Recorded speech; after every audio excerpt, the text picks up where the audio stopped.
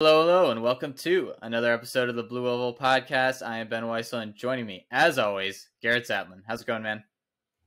Ben, since we have a track and field website, um, and we talk about some of the most fit and most aerobically gifted people in the world, um, I try to stay also like somewhat in shape. I try to go to the gym. I try to eat healthy. I had a Cava bowl today, but it was so damn bad. It was so awful that I've since resorted to uh, iced tea and Pringles because that's the kind of loser I am, and um, I just I couldn't stomach half a half a salad. So um, I don't know how that's relevant for today's episode, but I just felt like if there was going to be any random intro, that would be what I had for today. I am not going to describe my diet because it is not good. Uh, I am still living the I run 60 to 70 miles a week diet, even though I have not run in several months due to an injury. So we are praying that my metabolism keeps up until I get healthy again. So we'll, I we'll feel see. like I feel like having a kid though is worth like 100 miles a week. I really do. And plus, here's the difference: you can say that you ran 149, 342. I can be like, I biked 30 minutes last week. Like that's that's the extent of what I'm doing. Yeah, well, hey, everybody, everybody's got everybody's got their own thing, right? Uh, some more than others, sure, I guess. Uh, let's move on. Reviews. I think we have two new on Spotify. Shout out to Spotify. 88 on Spotify, and then uh, none on Apple Podcasts, but we did get a. Re- what did the review say? I don't have it up in front of me. Yeah, so I love this review because the subject line is alive and listening. So you know they listened to last podcast when I just said I want to know that people are alive and actually listening. to I forgot about that. Yeah, so perfect. Um, and then the the rest of it said, "Fantastic insight as always." And then suggested maybe a reason for the lack of ratings on Apple Podcasts is it's very isn't very intuitive or straightforward to leave slash write a review in the app, which I agree. Like when I've tried to it's do not. it for other podcasts, I don't ever know if it actually goes through.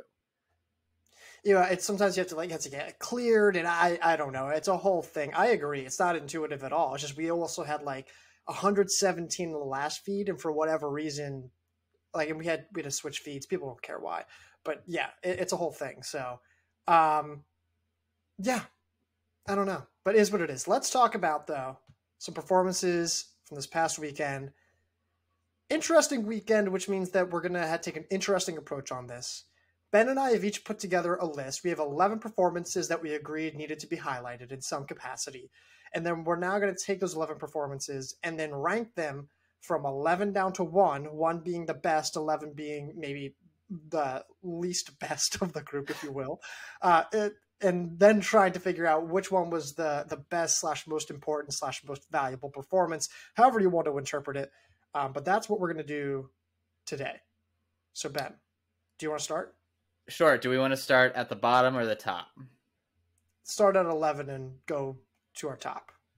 Okay, so I will start, and the performance that I had was Ethan Strand's 359. Oh. North Carolina's okay. own, breaking four, 17th on the performance list right now. Solid performance, but at the end of the day, still going to be several seconds off a national qualifying result. Yeah, so when we started doing this, I said that you and I were going to have some disagreements. That is um, going to be one of the disagreements. Off to not in start. a dramatic, yeah, not in one, not in a dramatic way, but um, I had Parks, Taryn Parks of UNC, running 438 to win the mile at the Hokie Invite. Um, let's talk about the, those two performances, though. Uh, I think with Strand, you know, for him running 359, he's still super young. And I think that UNC group, like, we're still kind of like waiting to see which of those like really young guys, other than Parker Wolf, we're going to really step up and start contributing at like a nationally competitive level. And it's not that I don't think we didn't think they could do it, but now Strand finally has a 359 mark. I think this means a lot for UNC's DMR, um, especially with Jesse Hunt running so incredibly well. Parker Wolf could certainly play a role on that as well. Um, and now you add a 359 guy to the mix. Things now get a little bit more interesting, especially when they even have Kyle Reinheimer at 148 as well. So I think Strand, just in terms of long term value, knowing that he's up there, knowing that he can be competitive, knowing that he's still improving, still young, and that he's timing, you know, this this rise at a perfect time. I think that makes him a little more valuable. Parks, it's not that her 438 result was bad. It's just kind of what we expected. Like I, I said, like, hey, one of these three UNC when we're going to win, they're going to run 437, 438, and they did. So yeah, I'm not going to argue with you too much. I had Parks as the as tenth. I mean, Strand had run 401 before, so it, it, it isn't like running 359 it is, is wild um, for to expect out of him. Um, but like you said, yeah, it is good for North Carolina from a DMR perspective, gives them another option. Um, and then Parks, I, I I think you could flip a coin on whether a 438 or a 359 is considered quote unquote better. Um, and I think we just flip different coins. My coin's just better. Um, but but no, and, and I and to be very clear, when we're ranking, because everyone's going to listen to this and be like, they said it was the worst performance of the weekend. That's not what we're saying. We're saying you have to have 11, a good performance to get into. You have to have a very good. Exactly, you have to have a very good performance. 438 mile and 359 mile, both for wins, by the way, are really impressive. Um, I just think Strand's result has a little more overall value that maybe we're not giving him credit for. So I'll give him the nod there. Not going to argue with you too much there. All right. Who did you have at nine? Who did I have at nine? Let me look at this up. I have this on my phone because my laptop's freaking out right now. Um, I had Tulsa's 750 marks from Michael Power and from Isaac Aker, Scott Scott Beatty, Isaac Scott Akers. Beatty, Scott Beatty. Thank you, Scott Beatty and Michael Power. Pair of 750 marks. Tulsa as a whole actually put four guys under eight minutes. Um, really strong, but Tulsa also did that last year. I, will say this: it's harder to put four guys under eight minutes in the same race. Mm-hmm. That's different. Um, but like Beatty's run faster before. Power's a 5K All American. This doesn't, they're not going to be like, they're not going to be into the national meet with those times. Probably not. I, I just, I just, it's not that it wasn't impressive. It was a great overall performance. I thought it was awesome, but I just don't know if we learned anything new. I mean, it was a crazy display of depth. Like when you mm-hmm. have nine, like they they had, I think, not ten guys finished this race, and nine of them ran 807 or faster, which is just a, a very strong performance. Basically, like a practice meet for them. Um, and, and, to see Beatty and Power run 750 isn't surprising, like you said. We would expect both of those guys to run faster as the year goes along. Um, but I mean, it's a good mark, and there just aren't a whole lot of people running that fast this early in the year in the 3K. Like we've only seen four other performances faster, and two of them were in December, right off of cross country season. So um, it, it is rare to see that quick of times run this early, and I think bodes well for them uh, as they go to more competitive races uh, when they're fitter and later on. And so, did you have Tulsa in the upper half of this list at all, or is it? Nope. Should I wait? I have them ninth as well. Okay. We, uh, we I had them. I had them. What ten? I had them ten. Oh, you had them tenth. Okay, so had you had Ethan Strand further up. I I do have Ethan Strand further up. Yes. Oh wow! Alrighty. And I think this is where some people are going to disagree with me. Um, so that was your nine, correct? Yes. Yep. So your your ten was Taryn Parks. Mm-hmm. Your eleven was uh, Ethan Strand, and your nine was Tulsa, correct? Yes people are maybe going to get on me about this one. My nine is Shane Bracken running 357 and Anthony Camerieri running 358. Here's the thing Ben and I, when, when we first got on here, Ben goes, How surprised were you that, you know, Bracken, you know, ran 357 and Camerieri didn't beat him or whatever? And I go, I'm not surprised at all, like in the slightest. Bracken has actually run 357 before. He's actually run just mm-hmm. the tiniest bit faster. Camerieri was already a four flat miler, but just was awesome during the fall months. It is super unsurprising to me that he's run through 58. This is a middle distance program. Those guys have run up to this level before. I don't think it really changes the dynamic of what they can do nationally. I, I, I just don't know what I was supposed to be surprised about. Again, it's a good performance. I know people are going to like, you know, be like, you don't think it's a good, of course I do think it's a good performance. I just don't know if I learned anything new or if it changed the NCAA landscape. Um, could they run faster? Of course. And then this is a different conversation. I I just wasn't surprised. I just like, yeah, this is about right.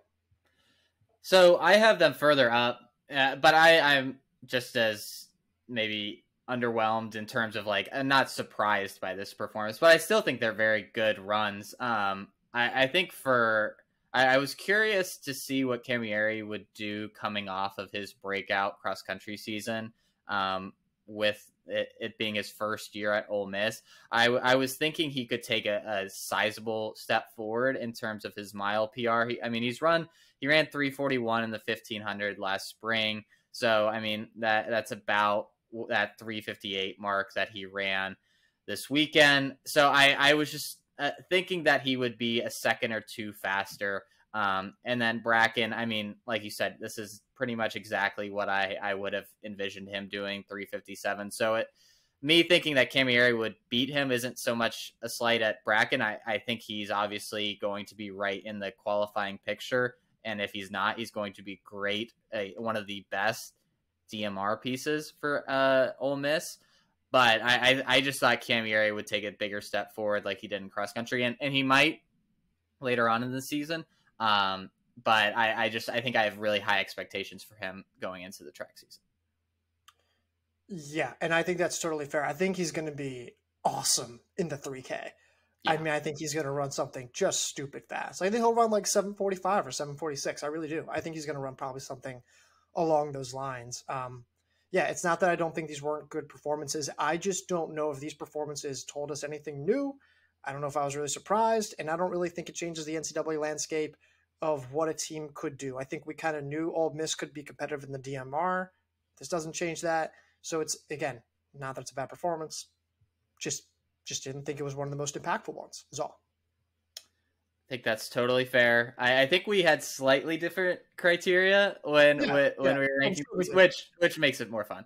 Um, all right, so number so we've gotten your 9, 10, 11. I had Bracken and Camerieri further up. You have Ethan Strand further up.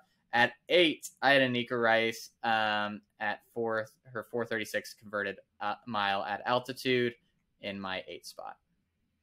I had that a little bit higher. Um, I, I yeah, I, I can understand why you put her at eight. Um, I had Kipyego, 147 um, at his home track. Um, what do you want to talk about first? We want to talk about Reiss or Kipyego?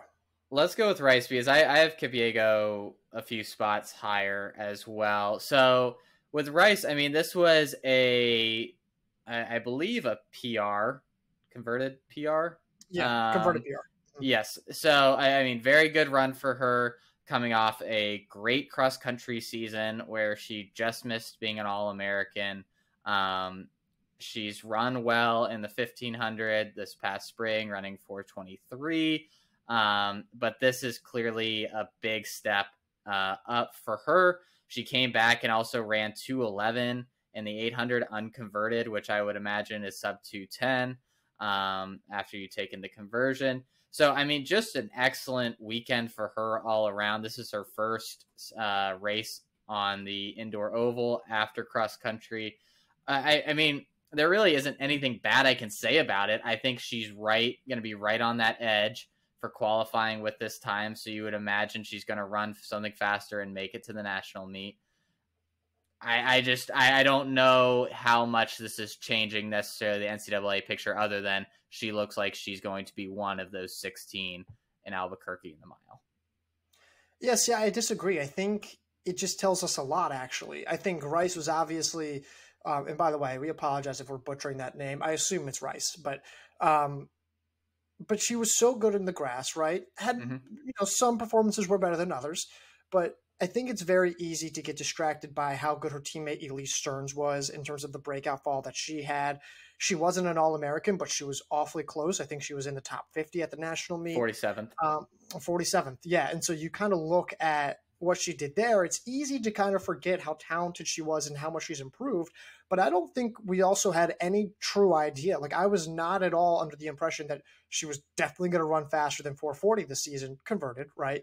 Um, I didn't know, like, she was a solid 3K runner, a solid 5K runner. Like, she's been a solid miler, but she's never really been like at this nationally competitive level before.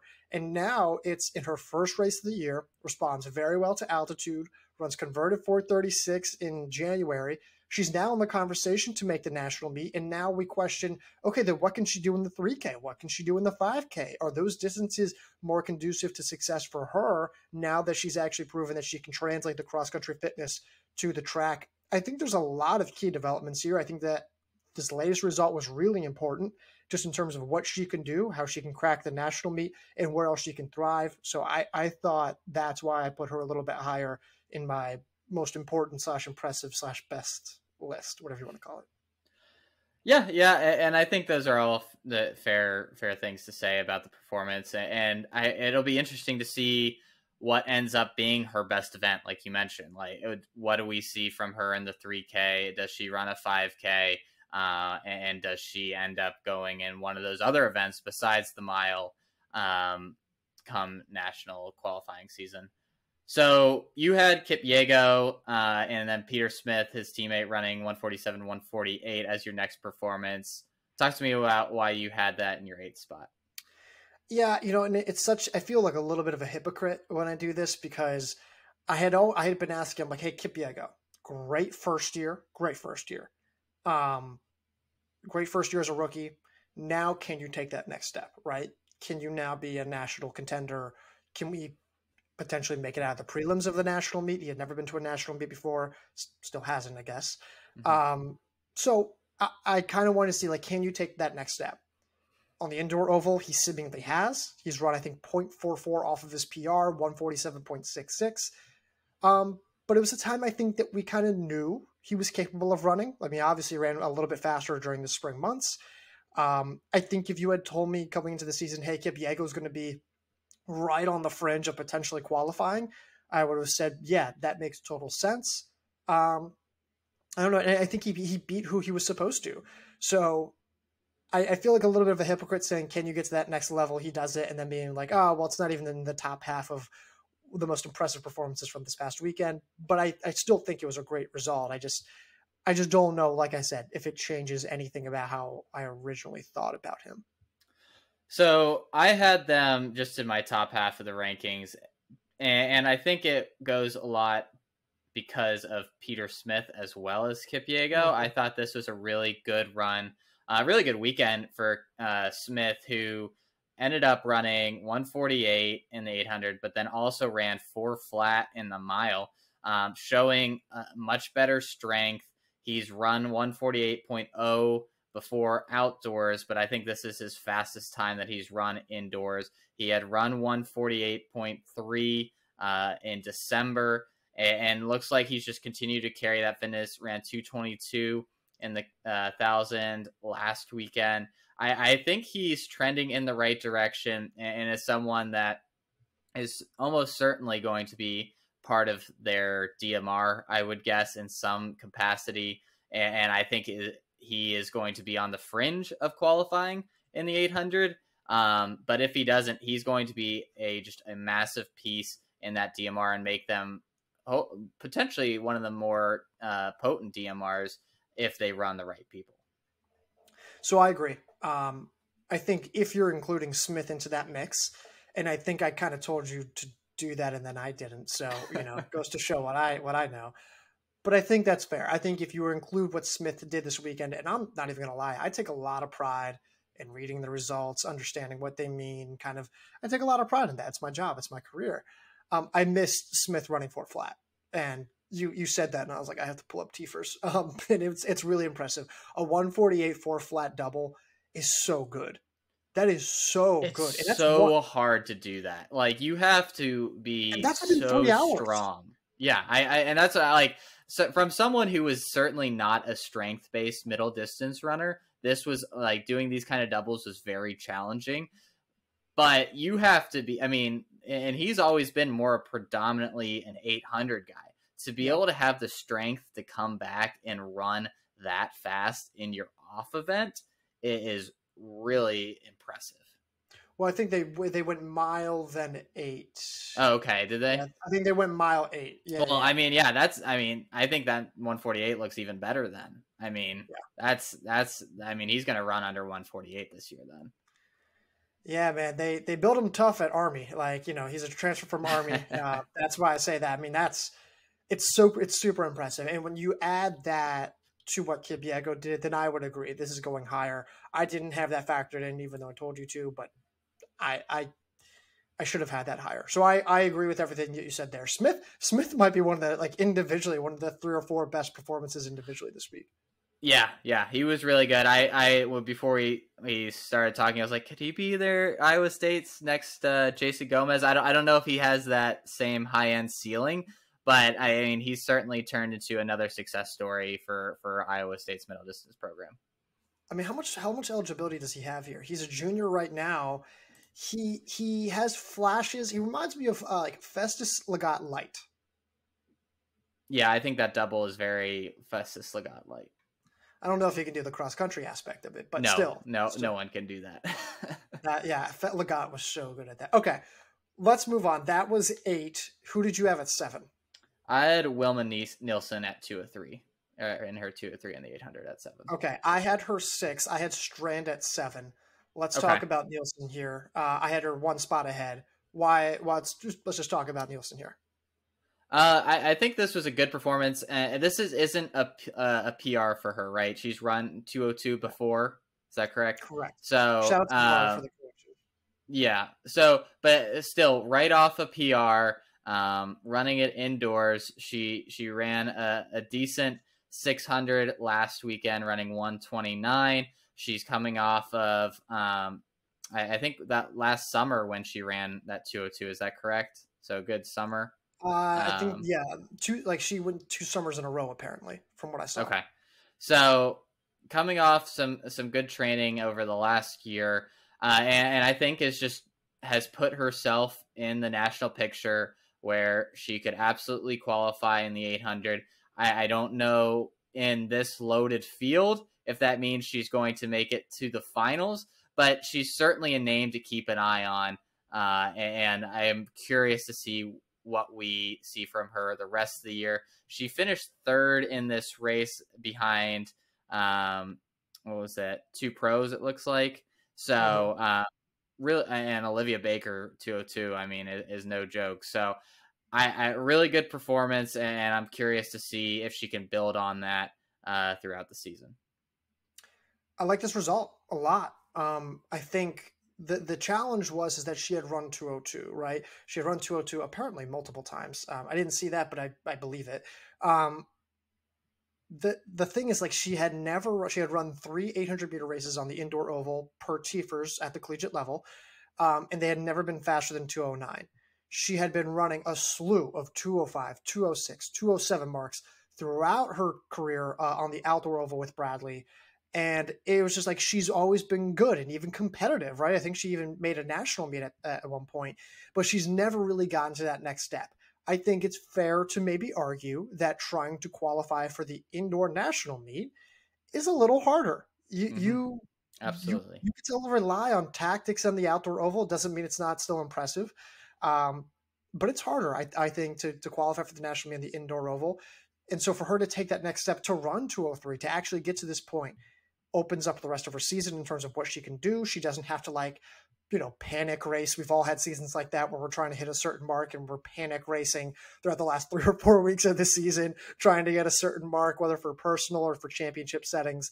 Um, yeah, I, I think it's really important from that perspective, and because it shows us that she can return to her top form. And if that is an indication that she's returning to top form, then she can be very dangerous moving forward yeah, it's just so big to get that big result out of the way and, and, to not have to worry about it. Because yeah, I agree. I think qualifying for indoors is uh, much more impressive because you have to be on your game at some point several weeks before nationals. You have to be hitting almost peak conditions because to be able to run as fast as you need to, especially now uh, to qualify. So yeah, I, I, think that's a really awesome performance from her. Um, but in a loaded 800 field, it, it's going to be hard for her to make a little noise, which is why I had her at seventh and not a little bit higher up. Yeah, I think it will depend on the rest of her season. Like, mm-hmm. this is now okay. Show me what you can do next. What can you do in the mile? Can you replicate this time? How does this translate to tactics? uh, I'm I'm not ready to make any major declarations about her, either good or bad. I think we just need to see a couple more weeks and see see what happens. Absolutely. So that was my seven. And who did you you had Strand at seven? You said I had, I had Strand at seven, Nielsen at six. Who was your six? I had Bracken and Camilleri. You had Bracken and Camilleri. Wow. Okay. I guess that's not a dramatic jump, No. but it's okay. It's still there. All right. Do we do we need to talk about them any further, or should we move on? No, I, I think we're good there. Okay. Who is your uh, who's your five? Five is where I had Kipyego and Smith. Okay, and five was where I had Annika Reiss. Um, Okay. Where'd you have Where'd you have So- Reiss? Seven. I had her eighth. So yeah, and I I don't know. I I might consider moving her up a little bit, but I again I I really like the Bracken, Camilleri, and, and the Kipyego and Smith. So Yeah. The, the again, Kipyego Smith. I would probably move up when you can factor in Smith, and, all, and even Basten. Isaac Basten ran a great race. It was one forty eight Yeah. for him in that race.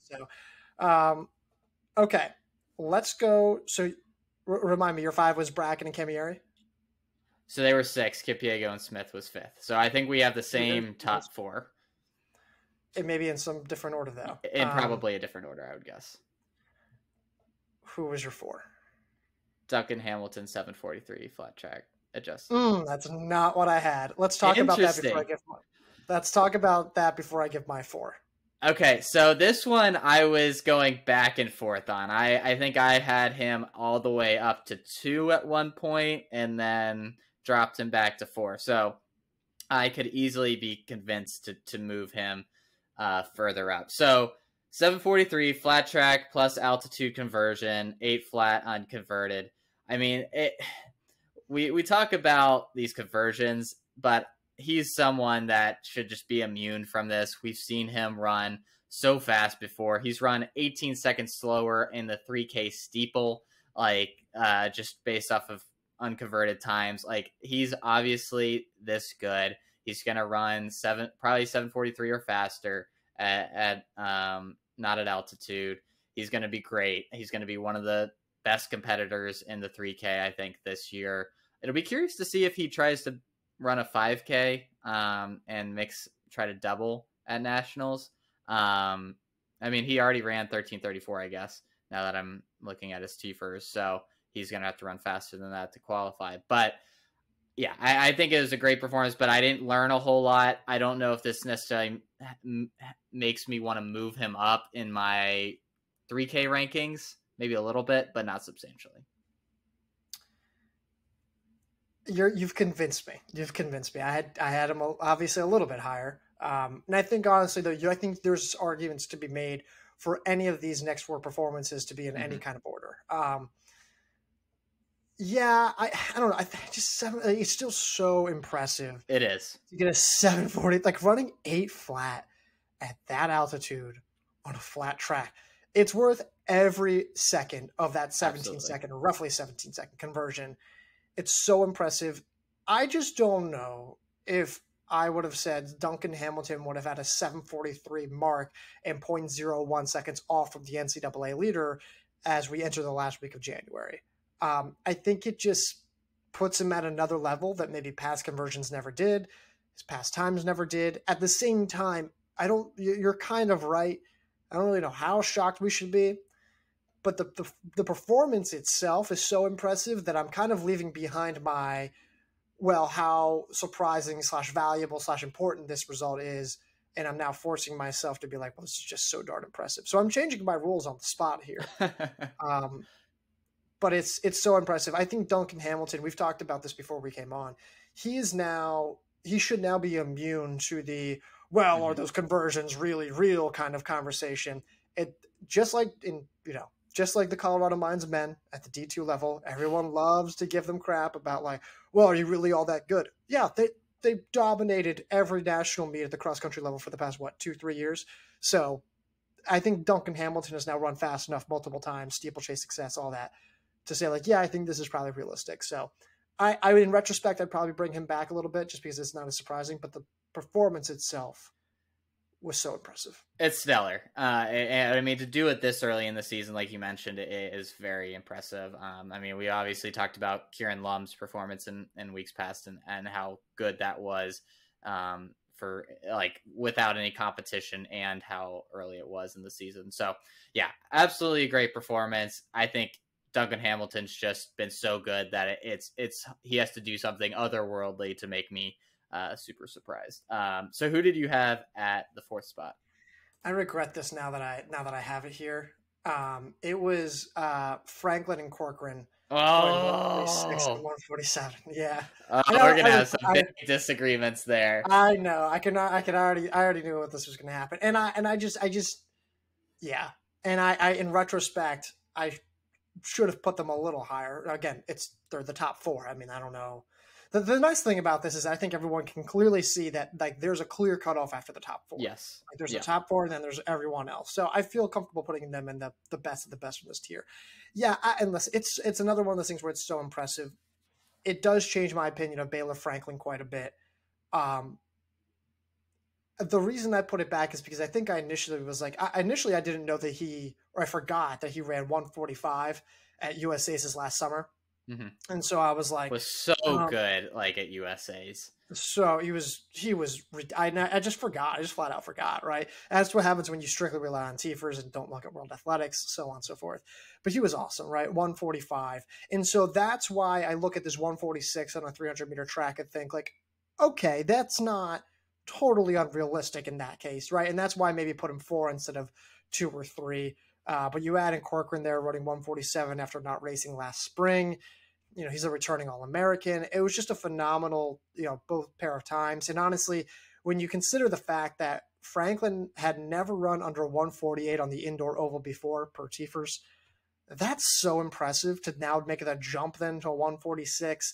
He looks like he's probably going to be one of the better names of the NCAA for the middle distances this year. He's I, I, think he maybe has a legitimate shot of being like a like an upset contender for the SEC title, maybe. I, I, think it changes a lot. And now in retrospect, I'm wishing I put both him and Crorken higher. I had them four. Um, like I said, I probably regret that, but I have them higher, and I think it's yeah, I think it's because with Franklin, this performance legitimately makes me put him in the contender status. Like I I, I don't I don't think he's the favorite, but uh, another performance like this uh, against maybe some better competition, and and he's there. Like for him to do this in January, run 146 in January. It is just really impressive. We obviously, like you said, remember what he did at USA's when he looked like he was he had gone to another level. Um, just from like even when he ran at NCAA's, when he didn't even make it to finals at NCAA's and outdoors, but then he just something clicked um, when he got to USA's, and it seems like that has carried over um, to this indoor season. And, and I, I legitimately think of him as in the inner circle of 800 contenders now. And, and I don't think any other performance really this weekend was as impactful in my mind because of that. All right. Wow. That was just a complete decimation of my opinion, but that's okay. And but but rightfully so. Like eh, you know, I I try to own up to it. I I think like my ranking so far, I have pretty good like logic and reason behind it. I don't have a good reason why I put them four. I probably should have put them both higher. That's my apology. I probably would have put them. I would have swapped them with Duncan Hamilton. Um, okay, let's go to three. Who'd you have at three? Lindsey Butler, two forty two, which so is the exact same case as Duncan Hamilton. Like I, I think those are nearly identical results in a lot of ways. Just a hugely impressive run to run 242 in the thousand, but it's Lindsey Butler. Like she was our TSR uh, number two, I believe. Um, three, number three. Like she, she was that for a reason, and because we know how good she can be. She's the 800 favorite, and this performance did nothing to change that. I don't think it made us view her any better, um, but it's still a really good performance and shows that she's fit and ready to go for this indoor season. I, I disagree slightly. Um, I have two things here. Um, one, I do think we learned something here. Uh, she was injured in the spring, raced well in cross country, ran a nice 3K PR to start the year, start the season. I don't, you know, just she hadn't raced since March of last year on the track, I should say, on the track. And I think there's fair questions to be had about like, hey, what's like her current speed like? What's her turnover like? How effective can she be? Like, I don't think I would have said that she was going to run a PR, um, or at least under 243 for that matter. So I, I don't know. I, I think that I think this is just confirmation that she is still near the best of her fitness. Yeah. Her speed is still maybe at the best it's ever been. And I don't think that's always guaranteed when people are coming back from injuries, right? Like it's really hard to time your fitness to be so perfect. And Coach Eric J, I'm not even going to try to say his last name, but Coach Eric J at Virginia Tech, like he, he quietly is putting together a really nice group of men, really nice group of women. There had two other women run under 245 for a thousand meters. I think it was Ava Hasselbrock and Hannah Ballo. Great marks all around. I, I just I just thought it was an overall great performance from Butler and from Virginia Tech. I have a question for you here. Mm-hmm. If you're starting an indoor track team from 800 up to 5K includes DMR. Yeah. Who would you rather start your team with? Lindsey Butler or Parker Valby? Hmm. That's an excellent question. So, thank you.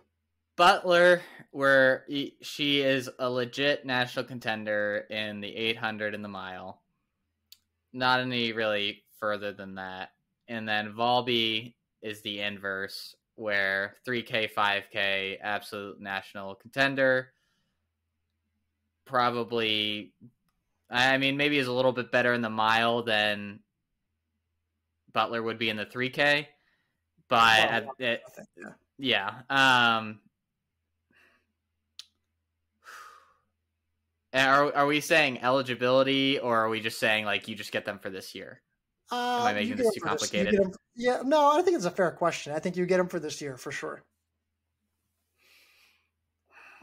With because Katelyn Tuohy exists, I think I'll go with Lindsey Butler.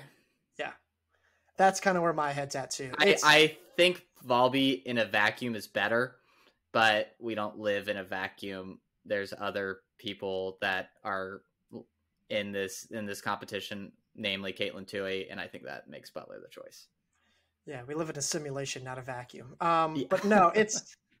I, I, I think I would have gone with Butler. I, I I don't know if like we can definitively say like oh Valby's more talented than Butler, but I there's just no way to compare it. I just don't. The reason why I go with Butler is because a I think her path to a national title is clearer, yes. and b I think, I think she brings this much more value in the DMR relative to what Valby would. Yes, and so I think that gives her three events relative to Valby's two and a half, right? So that yep. that's the only reason why I just wanted to ask that. But yeah, I think we're all on the same page. Shout out to uh to Butler; she ran very well. All right, so we both had Butler at three. We did, and then so I had did... Hamilton too. At two. All right, so my two, which I am discovering is your one, is no, no. Jenna Schwinghamer's 242 yeah. in the thousand and like the rest of her Kentucky teammates running 243, 244, 244, Sydney Steely, Phoebe McCowan, and Deanna Martin. Like just an incredible performance by Kentucky and their middle distance crew. Um, I, I mean, and for Schwinghamer, this just vaults her to another level. She was obviously very good um, this past fall. Um, she she she had improved um, but this on the track is just a huge step up. She had run 203 last spring and had nearly made it to nationals, but this shows that she is ready to compete firmly at the national level.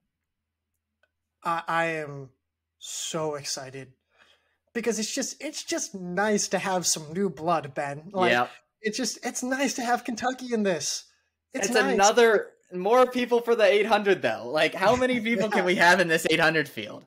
Well, who's to say it's the 800? Yeah, who's to say could be the mile. the mile. Could, yeah, I mean, sounds like a lot of people should. Anyways, it's uh, here's the thing: Kentucky showed a lot of promise last year. Fifth place DMR All Americans. Mm-hmm. Like they had Tori Herman and now Perry Bockrath has been great since the last spring. Um, you know, Schwinghamer's been good. They had all these different you know women. They brought in Sydney Steely Deanna Martin obviously just had a great race. You just start going down the list. It's so like Phoebe McCown's been great since last winter. Like there are now multiple women who I'm like, oh, this is like a competitive group. They've shown signs of it last year, and now they've brought it to a new level. I really liked Sh- uh, Schwinghamer a lot. I don't think I ever expected her to get to this point, much less in a year. Um, I, I really like her, maybe just because she has a really cool name, but I didn't realize that she would be this good. And then to have three teammates run 244 or faster. If Lindsey Butler ran 244, we'd shrug our shoulders and go, yeah, that's about right for someone of her caliber. Maybe we thought, okay, maybe she can run 243, 242. But I don't think anyone would be freaking out about that if Lindsey Butler ran it. Three Kentucky girls just ran that, and Laurel Winn of Ole Miss ran 243. But I, I, I think that's the best performance. It's not just because Schwinghamer elevated to a new level. It's because now Kentucky has one of the deepest middle distance group. If I had told you coming into this weekend that Kentucky would have the clear cut best middle distance group over Virginia Tech, I mean, you wouldn't have believed me. No, no, I, I it is a stunning display of talent and depth. Um, and, and we're talking about these thousand times, and I think it, it's hard for maybe some people to contextualize these. It, eh, like this, a thousand isn't the uh, event that's competed at nationals. People don't necessarily know what times relate to. That's 420 mile pace, like for a thousand, which is just staggering. And I mean, tells you to clarify real quick that that doesn't mean it converts to 420 no it's no but that is 420 pace. So i'm not sure what that converts to but her running low 430s is certainly in the picture now. Um, and for her to run just as fast um, as butler did is another clear indicator of where she's at. So I, I i think like you said I struggled with whether to put this performance one versus two. I think this puts her at the national level. The reason why I don't have them at one is I don't think this puts her at the contender level. Um, and when we're talking about most important important performances, I, I, think a performance that elevates you to that contender circle is ultimately the most important. But the overall depth here nearly put made me push them to number one for perspective, um, Butler's 242 mark, which was run on a 200 meter track, which I do think gives gives her a little bit of an edge over Schwinghamer. Schwinghamer sure. ran hers on a 300 meter track. And but I that, can tell you that track is fast. It's so fun yeah. to run at at Vanderbilt. Yeah, well, Virginia Tech's is quick too, but Vanderbilt's quick. Um, what was I even going to say? Schwinghamer, yeah. Uh, Butler is now listed at NCAA number 12 all time on the official eligible NCAA women's 1,000 meter list. Schwinghamer, if you included the all performance best, basically saying any off distance of mm-hmm. 300 meter tracks, things of that nature, she's NCAA number 14. Unless there were other 1,000 meter performances that we completely missed. I don't think we did. Um, so that that puts into perspective. She's one of the 15 fastest women, regardless of track size, yep. in collegiate history, to run a 1,000 meter race. That's wild. And she and I, I'm correct in saying that 800 she ran was after this as well. I I couldn't tell you convincingly. I would think so, but I don't know that for a fact. She ran 205.97 in the 800 to win that as well. So I whether she, she that was day two. Okay, yeah, yeah, you might be right. Um, so also a good good indicator of where she's at, and her teammates behind her, like the, those four women who ran fast in the thousand, went 206, 208, 208 as well. So I mean, they they also backed it up and ran like not spectacularly fast in the 800, but also very well. Um, the women's 1,000 meters was run um, at 8 p.m. on Friday and then the women's 800 meters was run at 3:25 p.m. on Saturday. So it's a two-day double. Yeah. Um, yeah. I mean, it it's just it was so good. It was so so good. Like I mean, I think we knew Sydney Steely was good. I think people who really observed Phoebe uh, Phoebe McCown would have known that she's actually really underrated and really good. Um, for Deanna Martin to run as fast as she did at 244, I know she's run 205 before, but like shout out to uh, uh, I think it's Ho, uh, Coach Hakron Devise. I know I'm butchering that name. I apologize. But at, at Kentucky, I mean, he did a phenomenal job. Said, "Hey, we're going to show potential in 2022, and now we're going to be a problem in 2023." Just super, super impressive. Yeah, yeah, absolutely. Great performance. So they were number two for me. Um, number one for you. Um, my number one was Franklin and Crorken um, 800 performances. We didn't really talk about Crorken at all um, before. He he ran 148 uh, or 147, excuse me. Led most of that race. Um, really pushed it, and I think this is another good stepping stone for him. This is a PR. Um, he he was at the NCAA championships last indoor season, didn't run outdoors. He was fifth um, last year in the 800, which I, I, think a lot of people, including me, forget about.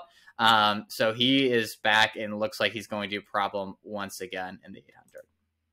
He's tactically really sound. Um, he he's just solid. Like he's he's never gonna like blow you away, but he's he won the Music City Challenge 800 meters last year in 147, right? He I think he kind of knew that he could be a little more aggressive in this Vanderbilt race this past weekend mm-hmm. because his teammate Baylor Franklin was there.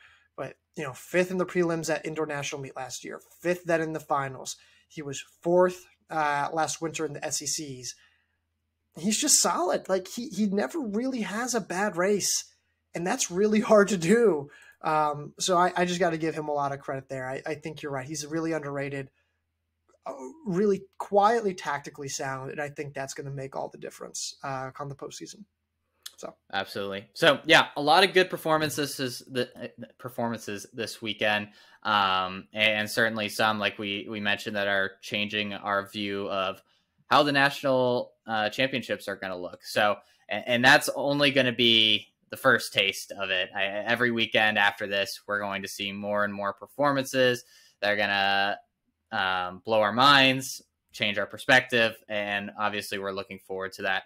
Let us know if if you had a certain uh, list, your certain lists a little bit different, but I, I think, like Garrett said, that top four you could have put them in almost any order. They were that good this weekend. Yeah, I apologize to the Ole Miss guys, Baylor Franklin, Tiarnan Crorken. You guys should have been higher in mine. I apologize. So just just be, be gentle. I, I know I kind of screwed that one up. That's okay. Um, all right. Do we have anything else? By the way, we're on YouTube. We got our last video up. It took forever. Canva wanted to be very difficult with me. Um, ben knows as I sent him a few a few edits. Um, but yeah, go check it out. We're on YouTube. Go subscribe. We'll put those out probably every Wednesday, Thursday, I think. Um, and yeah, you can go subscribe and watch us there. That's you it. see our shining faces, even if some more than to. others. Yes. Yeah, it's it's dark. It's dark out. It's seven thirty. It's seven twenty. Twenty seven on Monday. So. Uh, all right. Well, I think that's it. Anything you want to plug before we wrap up? Uh, D2, D3 rankings coming this week, updated D1 rankings coming next week. Um, working on a few things. Might do a transfer article. That'll be big if you're a D2 guy as well uh, D2 guy or gal. And then we've also got some meet previews coming up as well. I'm actually working on maybe sort of kind of a Q&A for a top recruit uh, that recently committed. And uh, also go check out the Penn State article I did. I kind of that was a lot of fun on Caleb Nastari going to Penn State. Um, but yeah, that's it. Oh, Ben, before I go, who, what are you happier about? Uh, the Eagles winning or the Cowboys losing? Oh, the the Eagles winning. I, I wanted to play the Cowboys. I'd rather play the Cowboys than than the 49ers. I, I wanted to beat them to go to the Super Bowl. I don't want to give Dallas fans any more hope than I have to. I I I was I there was no bad result in that Cowboys game for me. I was like either we get to play them next week or they get crushed. It, it was good either way. Yeah, I'm a Steelers fan, but I'll root for the Eagles when the Steelers aren't playing. Um, so fly birds fly. All right, that's all I got. All right. Well, until next week when I will be either crushed or elated about the football results, I'll talk to you. I'll talk to you.